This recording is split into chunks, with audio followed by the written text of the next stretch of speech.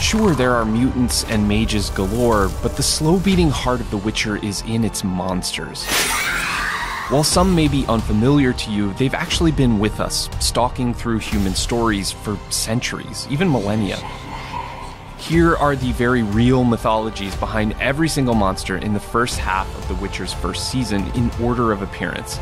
And if you want them all, let us know by liking, sharing, and telling us in the comments.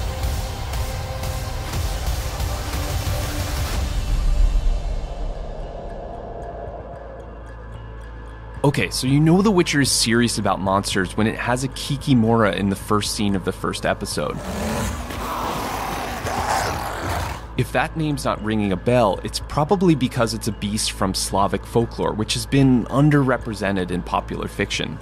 To start, Kikimoras are always female. They rise from stillborn children or women who died in labor and often bear the deceased's face. In some Russian versions of the tale, Kikimora is indeed a creature of the swamp who leaves wet footprints wherever she goes.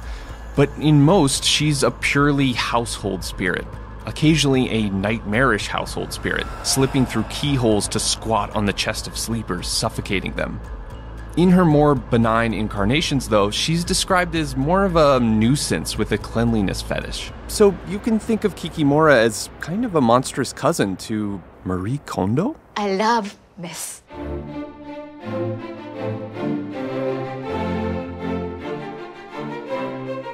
Human animal hybrids are a tale as old as time. Almost every mythological tradition on Earth has some variation of them. The first we see in The Witcher are Sylvans, which resemble fauns, the unpredictable woodland man-goats from Greco-Roman mythology. Although maybe they hit more like the bloodthirsty half-man, half-bovine minotaur. In many versions of that latter myth, the Minotaur was conceived when the insulted god Poseidon took revenge on the insulting King Minos by cursing his wife, making her fall for a real specimen of a bull. There's a lot of art on the internet about this. It might be why Geralt goes immediately for the mom insults. You motherfucking goat. But lest you think that human animal hybrids are just ancient magical things, allow me to introduce you to the mysterious pig faced lady of Europe. Nearly simultaneously in the 1600s, in multiple places across the continent, a legend arose of a pregnant rich woman who was cursed and whose baby was born with a pig's head. The myth persisted and somehow gained the veneer of fact. As late as the 1800s, newspapers reported that the pig faced lady lived in London's posh Manchester Square. Goats, pigs, bulls. But what about the Witcher's human hedgehog combo? Has that ever popped up in myth? Well, because we go the extra mile here at Netflix, I looked into this and nope. I found Hans my Hedgehog, a cockerel riding, bagpipe playing, princess loving Brothers Grimm creation, who was a wee bit more monstrous in the Jim Henson version. That's enough! Out!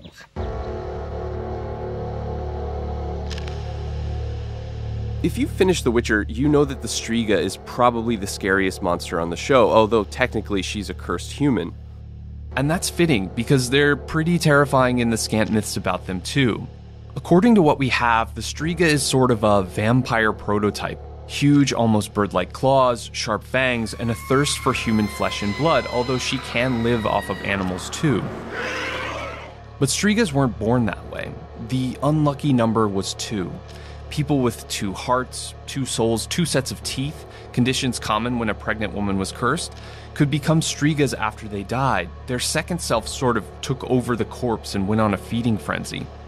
Even though they're not so common in fiction, it's interesting how many cultures have variations on the theme. Striga's demonic cousins proliferated across southern and eastern Europe to unlikely places like your garden. This is the Striga, or witchweed plant, which is kind of pretty, right? But it's known for viciously penetrating the roots of a host plant and sucking out all of its nutrients. Scientists even make dad jokes about its rapaciousness. So whether it's the plant or the bewitched princess variety, stay away from y'all.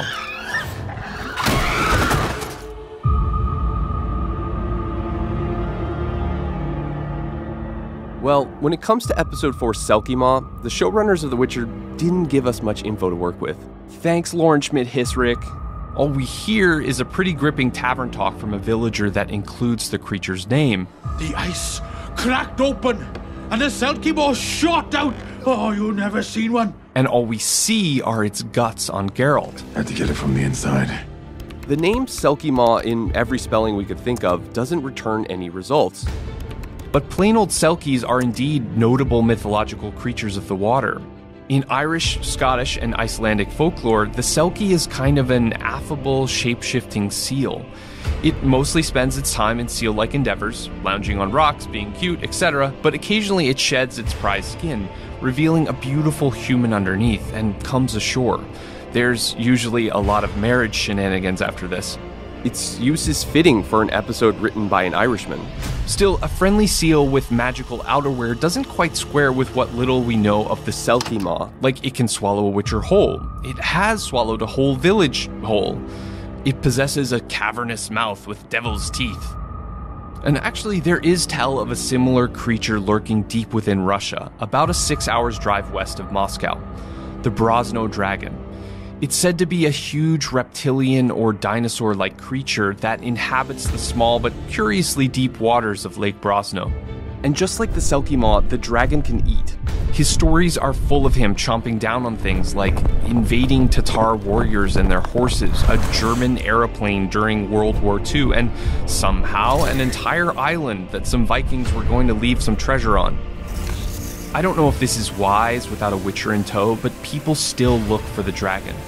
This is an easily chompable dog sled team searching across the frozen lake. Toss a coin to your Witcher, oh valley of plenty. Whoa. Our search for the Selkie Maw, however, has reached its successful conclusion. We figured it out. Take that, Lauren Schmidt Hissrich. Thank you.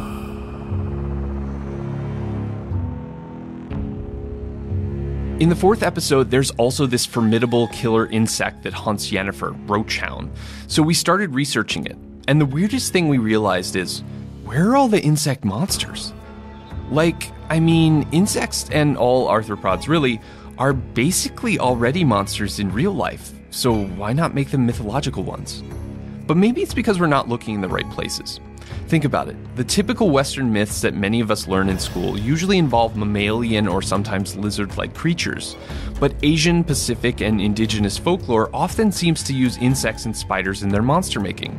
In the tales of Thailand and several New York State Native American tribes, there are monster mosquitoes as big as chickens who are capable of launching coordinated attacks on forts.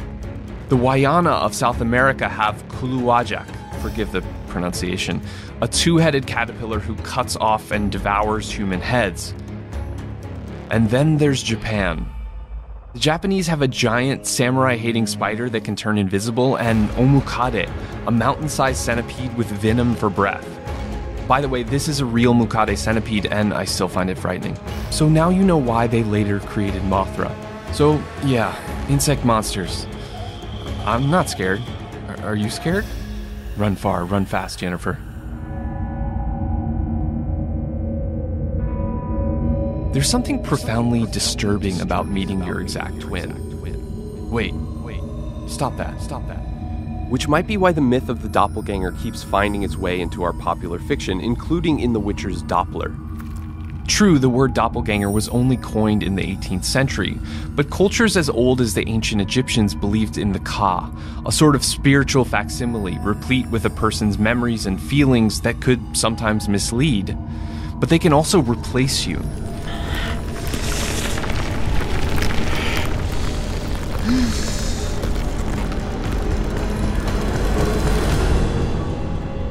Everything you've ever done, debated, ever dreamed is in our head now. People from the Orkney Islands feared the Trow, sickly changeling creatures that would replace healthy human babies with their identical Trow replicas. If you want to get crazy, we can get crazy. So it's sort of like the plot of Us. Sometimes a benign version of the doppelganger will pop up. The Norse Vardøger, for instance, was an identical you that went ahead of the real you and showed up early to all your meetings. But most of the time, they're an omen of doom. Following his election in 1860, Abraham Lincoln allegedly saw his exact double in the mirror. The other was pale and ghastly looking. His wife believed the vision foretold his reelection, but also his death. There is a condition, heautoscopy, which can cause someone to see their double at a distance, or at least you better hope it's heautoscopy and not a doppelganger.